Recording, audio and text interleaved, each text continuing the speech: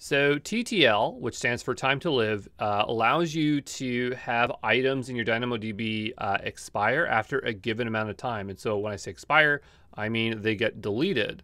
Uh, this is great if you want to keep your databases small and manageable, or let's say you're working with temporary uh, but continuous data. Examples could be session data, event logs, or just based on uh, your usage patterns. So the way you're going to enable time to live is in your um, DynamoDB uh, table. You're going to uh, click on TTL, and then you're going to have to enable it, and you need to provide it a um, attribute.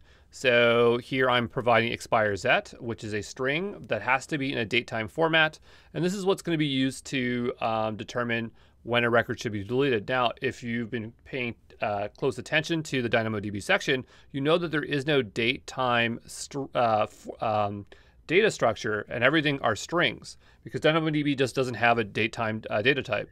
So it's important that you use a um, that you format the string in epoch format. Okay, and so if you're not familiar with that, this is just a I think this is ISO 8061. And uh, what you'd have to do is convert this into epoch, which looks like this. It's a bunch of numbers. So there, uh, you'd have to programmatically do this, or you'd have to use an online calculator. Uh, but the advantage of TTL also is that it'll save you money because the smaller your database is, the less likely you'll have partitions and the more money you will save. So there you go.